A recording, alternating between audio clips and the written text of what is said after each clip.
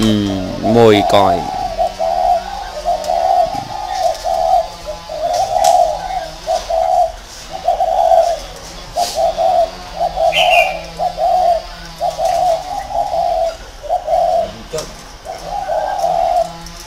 Ừ.